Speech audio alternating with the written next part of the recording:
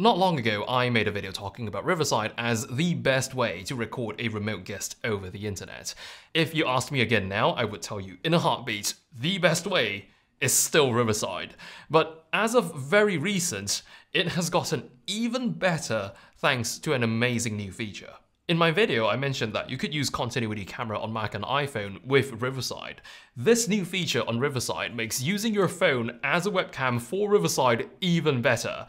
It is so quick and so simple to set up, I can just walk you through it in real time. From just the Riverside Green Room, that's this page here for you to set up your camera and audio before actually jumping into the session, pick the drop-down menu for selecting your video source, pick Connect Mobile Cam, and that would bring up a QR code.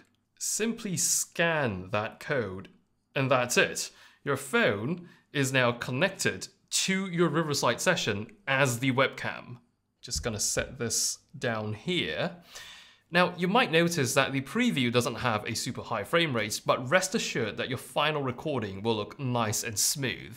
I believe this happens because it's sending a preview quality feed over to the call while it's uploading the full quality local recording directly from your phone. The only prerequisite to using this feature is you need to install the Riverside app on your phone. You don't even have to log in, it just needs to be installed. So this could be super neat if say you would like your guest to use this feature. Now, why would you use this instead of continuity camera? There are two main reasons. First, being continuity camera works at 1080p, which makes perfect sense since it was mainly designed for video conferencing, but Riverside's mobile as webcam is capable of 4K resolution since on Riverside, we're interested in the highest quality possible for recording.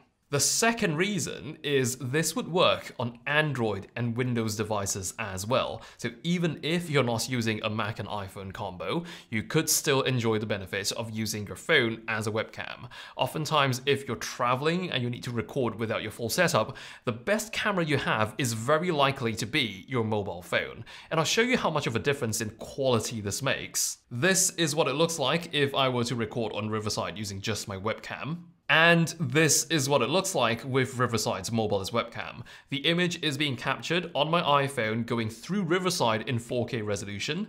An additional benefit, which I really like about using my phone as a wireless webcam, is how I can just reposition it completely independent of where my laptop is. Much more flattering angles, especially when compared to built-in webcams. And that's a really neat update to Riverside. I love how this best platform that I've come across just keeps getting better. If you're interested to know more about Riverside, make sure to check out the video I made earlier about my experience with it. And until then, I'll see you around.